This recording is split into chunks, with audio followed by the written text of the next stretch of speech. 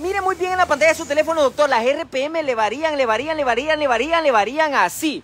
Mire, si usted ya tiene la cámara de aceleración limpia, programada y no tiene entrada de aire y usted se está preguntando, pero siempre me está fallando las RPM que me oscilan. Decime qué más puede ser. Eso es lo que nos dice la gente que está al otro lado del mundo.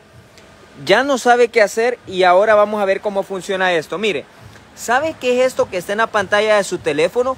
Se fija lo diferente que es este carro porque a la par del Borner trae esta cajita cuadrada. ¿Sabes qué es? Decime en los comentarios. A ver, te reto Hugo Carvajal y Ángel Villanueva que están en la pantalla de su teléfono a que digan, aunque se equivoquen, qué creen que es esto. Mire, como probablemente no lo vas a saber, y este video es para abogados, arquitectos, ingenieros, bomberos y policías, lo que tú estás viendo en la pantalla de tu teléfono es un amperímetro. ¿Qué tiene que ver eso con las RPM y qué tiene que ver con que oscilen? Mire, un amperímetro lo que va a hacer es ver cuánto consumo de corriente hay. ¿Qué quiere decir esto?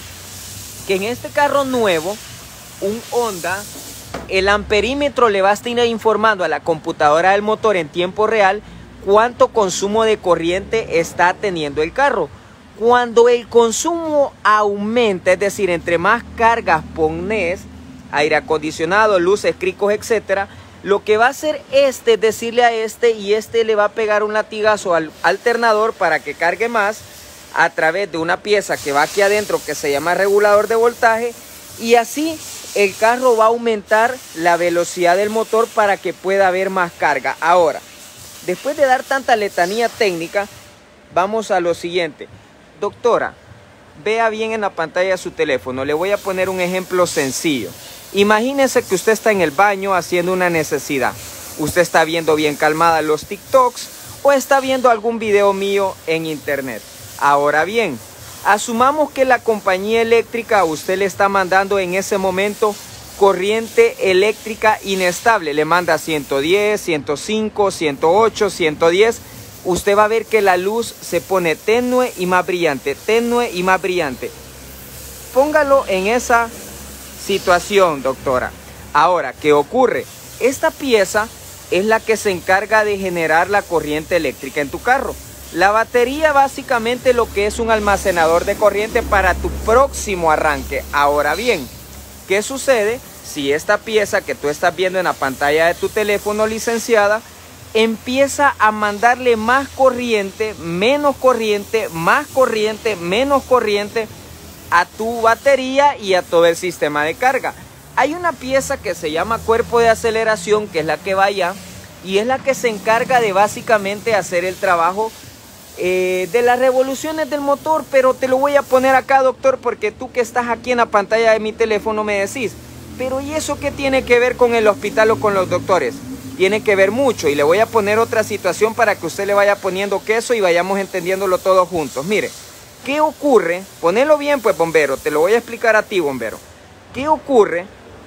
Oiga bien, si el hidrante, oiga bien, el hidrante, no sé si usted se ha fijado en las calles, es una cosita de hierro que está en las calles o en las ciudades y sirve para que cuando hay un incendio ahí va a conectar el bombero una manguera.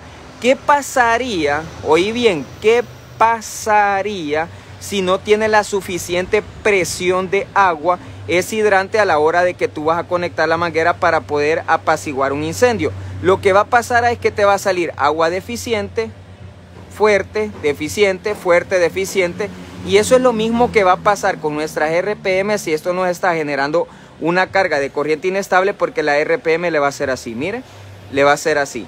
Esa es una de las cosas que tendrías que tú revisar si en el caso hipotético ya revisaste lo que es cámara de aceleración, ya la tenés programada y si a todo esto también tú ya revisaste que no tengas entrada de aire. Para tú que me estás viendo aquí al otro lado de la pantalla de tu teléfono, Sí, Edenilson, le voy a explicar cuál es el proceso que nosotros hacemos en el taller rápido y fácil. Si usted en algún momento tiene eh, acceso a un manual de reparación, lo primero que usted va a fijarse es que lo primerito, oiga bien, que el fabricante quiere que usted haga es que descarte que tenga entrada de aire no es el paso uno ir a revisar cámara de aceleración. El paso uno es descartar entradas de aire. El segundo paso es revisar la válvula PCB, el tercer paso es la limpieza de la cámara de aceleración, el cuarto paso es ver el sistema de carga y el quinto y último paso es ver la computadora del motor. Cualquiera de estos cinco pasos que yo te acabo de mencionar podrían ser los causantes de una oscilación en la RPM.